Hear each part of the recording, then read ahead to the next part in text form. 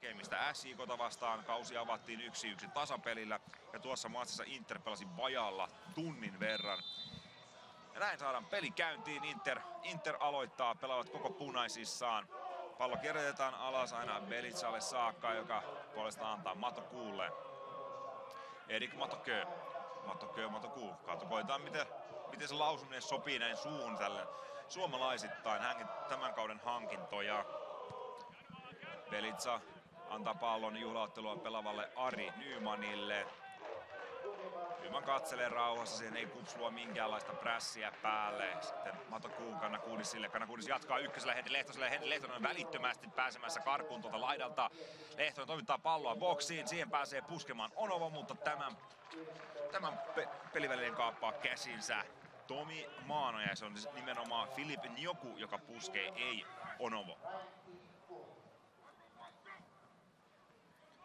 Tässä vielä nähdään. Tomi Maanoja ottaa varmasti tuon hieman ponnettoman puskun, mutta hyvin nousee Henri Lehtonen laidalta ja Inter saa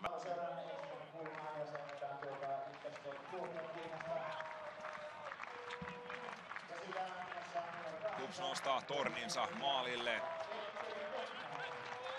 Poutiainen tekee pienen liikkeen Petterin kulmasta, kun tulee Baane saa sen Poutiainen. Vetopaikkaa ampuu, ampuu räikeästi yli maalin. Räikeästi yli maalin ja näin ollen Baane pääsee jatkamaan maalipotkulla. Kauden alussahan Job Draxma totesi, ja Job Draxma totesi medialle, että Jukka Lehtovaara tulee ottamaan joukkueen ykkösvaadin paikan ainakin ensimmäiseen viiteen matsiin. Viittä matsohna on vahvempi. Kups pääsee tilanteesta ulos pallon kanssa. Ilo Rannankarille. Rannankarin keskitys maalille. Sinne tulee Saku Savonen. Siellä on kuitenkin välissä myös Inter-puolustus. Pennanen puolestaan heittää palloa luukulle ja Saku Savolainen pääsee puskemaan. Saku Savolainen pääsee hienosti tuohon palloon. Norkainen, joka on tällä kaudella kertaalle liigassa jo osunut. Ja tässä uusintana Petteri Pennaselta hieno pallo puolustuslinjan taakse. Saku Savolainen tuollainen Kimmo Tarkkiomainen syöksypusku. Kimmo Tarkki, joka on tuttu muun muassa Kyykän, Kyykän pelipaidasta muutaman vuosi menossa Kuopiossa. Tuolla näkyy Patrick Poutiainen ohjeistamassa joukkuekavereita. Ilon kulmaan ilmastoi kohti etutolppaa. Sen selvittää Inter helposti. Toinen pallo. Ilo lähtee ampumaan. Baane torjuu. Todella hyvä laukaus Miikka Ilolta. Todella hyvin ja terävästi lähtee veto. Ja samassa tilanteessa siellä Inter-pelaaja loukkaantui. Se on kapteeni Henri Lehtonen. Katsotaan, jos päästään näkemään uusintana tuo äskeinen Ilon pommi. Ja tässä se tulee. Miikka Ilo lähtee ampumaan. Magnus Baane kaivaa sen alanurkasta. Alanurkasta tuon tuli sen laukauksen, jälkeen Inter vaan purkaa, purkaa pallon eli rajan. On tuo Hifkin ja Jaron välinen.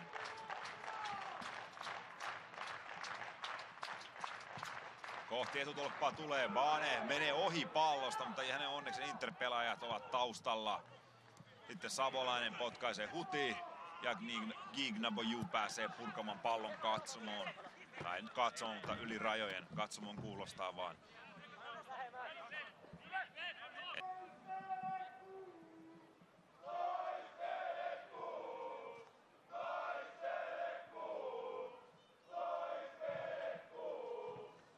Pallo jää boksiin elämään. Maanoja tulee ensin vastaan, sitten lähtee pakittamaan ja toinen kulmapotku Interille välittömästi kun King Naboju puskee ja Tomi Maanoja törkkää pelivälineen yli riman. Ja mä näytti siltä, että tilanne on ohi, ohi mutta sitten pallo jää elämään boksiin, Nabojun pusku ja Maanojan torjuntaa.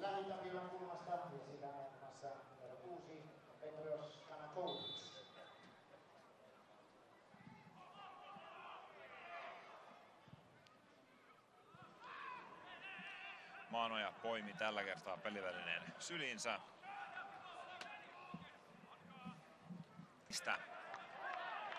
Rajamäki näyttää penkillä, että ylöspäin, ylöspäin ja Hatakkahan lähtee ylöspäin. Lainaa pallon Savolaiselle, Savolainen keskitys. Tulee Osvaldille, Osvald lähtee ampumaan ja Magnus Baanelta huikea torjunta. Huikea vielä uusintana. Saku Savolainen pelaa palloa boksiin. Vähän tuurillakin se ajautuu Joakim Oswaldille. Oswaldille lähtee Ronaldomainen kärkkäri. Puhutaan siis oikeasta Ronaldosta, ei tästä teinityt.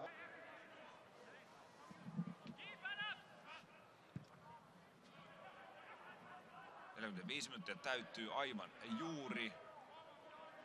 Ilmeisesti lisäaikaa ei ole tulossa. Ei tule. Näin Jani Laaksonen puoltaa pillinsä ja ensimmäinen jakso päättyy Kuopiossa päättyy 0-0 lukemissa ja otetaan haastatteluun tuosta tuota pikaa Dani Hatakka, jolle potkaistaan toinen jakso käyntiin. FC Interillä puolestaan avaus kokoonpano ja sama kokoonpano. Katsotaan mitä Petteri Pennanen saa pallon kanssa aikaisemmin, kun mennään kokoonpanoihin. Pelaa Oswaldille. Oswald lähtee nostamaan kohti Hatakkaa. Välissä on kaksikin Inter-pelaajakana kuudisilta. Pitkä pallo. Ebnima Sohna. Poutiainen pitää pallon kentällä. Lähtee toimittamaan sitä kohti Interpuol. Ari Nyman, Kiikna Ju, Solomon Dua, Filip Njoku ja Henri Lehtonen, joukkueen kapteeni. Hatakka riistää pallon Henri Lehtoselta. Pennanen Osvolille. Osvold lähtee ampumaan. Loistavaa, loistavaa koppi Nestori Magnus Baanelta. Ottelun toisen puolen ensimmäinen kulmapotku tulee Kuopion palloseuralle. Ja se tulee Magnus Baanen loistavan kopin jäljiltä, jonka te näette tässä uusintana. Savolainen, Pennanen, Oswald, veto lähtee ja yhdellä kädellä Magnus Baanen reagoi nopeasti ja torjuu tilanteen kulma. Onovo. Onovo saa so- Sohnalta sukkaa ja nyt tulee myös ottelun ensimmäinen varoitus ja varoitus tulee Ebrima Sohnalle, kun peliä on pelattu 50 minuuttia.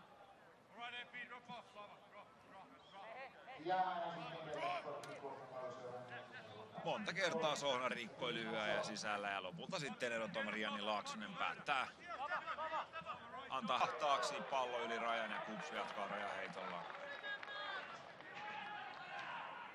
Pennanen, Rannankari, Rannankari kohti Iloa. Ilo puikottaa, hienosti pääsee boksiin. Mitä tekee Miika Ilo? Ampuu päin Pelitsaa ja sitten tulee kulmapotku. Numero kaksi toiselle jaksolle. Upeasti Miika Ilo ohittaa ensimmäisen miehen, pääsee boksiin, mutta Edson Pelitsa. Mahtava, mahtava liuku. Siinä viedään viedään Vincent Onovoa kassalle oikein korksi yksi johtoon. Naboju yrittää ohittaa McCarthy. McCarthy menee pikkuisen nurin. Naboju tulee boksiin. Edessä on edelleen McCarthy. Naboju keskittää. Henri Lehtonen pääsee tällä. Mä ampuu yli maalin. Siinä merkkaus pettää pahan kerran. Nabojun hyvä syöttö syöttö taustalle. Siinä nähdään kuinka syöttö tulee täysin vapaana olevalle Henri Lehtoselle, jonka veto ottaa maasta. Sen verta kovan ohjuri, että se nousee korvilla, että se tulee heittää korkean korkean laidan vaihdon. Ehtikö Petteri Pennanen siihen? Kyllä ehtii. Pallo alas Ilolle. Ilo keskittää. Sirvi Laatse pudottaa pusku Savola. Sitten pallo tulee Pennanen. Tuo on pilkku. Se on oltava pilkku ja se on myös sitä. Petteri Pennasta rikotaan. Se on päivän selvä rangaistuspotku. Siinä ei ole kahta sanaa kenelläkään. Se on selvästi rikotaan. Tässä Sirvilatse puskee, Savolainen yrittää saksapotku epäonnistu tuossa. Pennanen vedetään, su- Pennasta vedetään sukkaan. Kun Petteri on juuri lataamassa tilanteessa, niin sieltä taustalta tulee Ari Nyman, sukittaa Petteri Pennasen ja saa siitä myös varoituksen varoituksen ja samassa ajassa Inter pääsee sitten vaihtamaan vaihtoon Gignavoju ja kentälle 14 Joni Aho. Ottelun 74. peliminuutti. Samassa ajassa tosissaan varoitus Ari Nymanille. Nyt on Petteri Pennanen vastakkain Magnus Maanen kanssa. 11 metrin ja kahden sentin täplältä.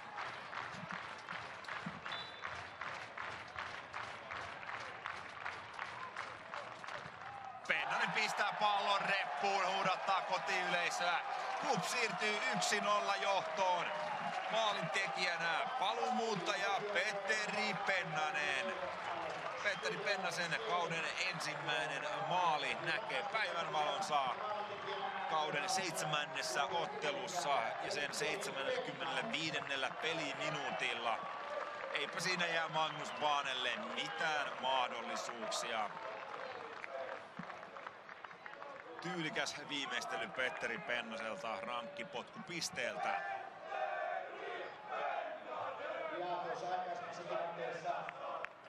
Toimittaa sen vain hyökkäysalueelle.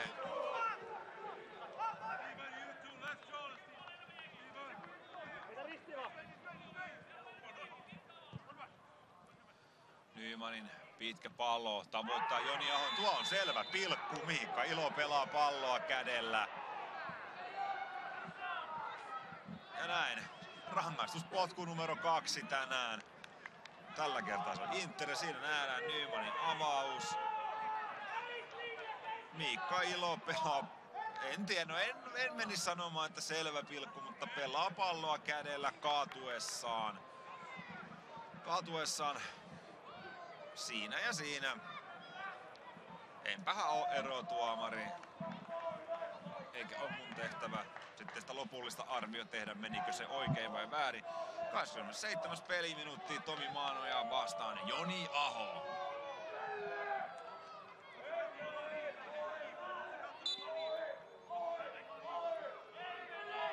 Aho vauhti pistää pallon alakulmaan uijamaan toiseen nurkkaan ja näin ollen Inter tulee tasoihin yksi yksi. Maalin iskee vaihdosta kentälle tullut Joni Aho. 87. peliminuutti.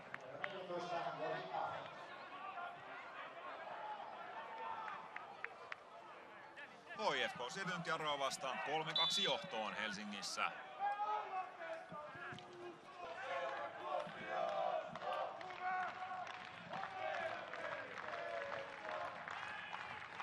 heitto boksiin, Chibuikke, pallo jäsi hänen eteensä, Chibuikke laukaus on huono.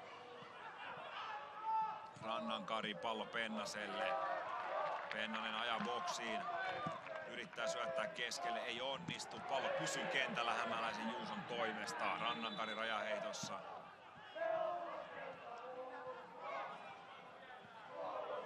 Siellä on Kanakuurisilla asiaa. Jani Laaksoselle.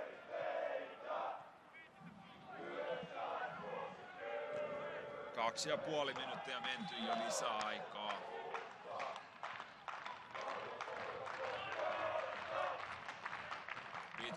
boksiin, Ilo jatkaa, se menee suoraan Baanen hyppysiin. Nyt lähtee kaiken käytettävissä olevan ajan.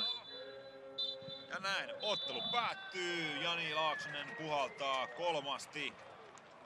Ja väänsin päällekin pillinsä ja tämä ottelu päättyy 1-1 pistejakoon.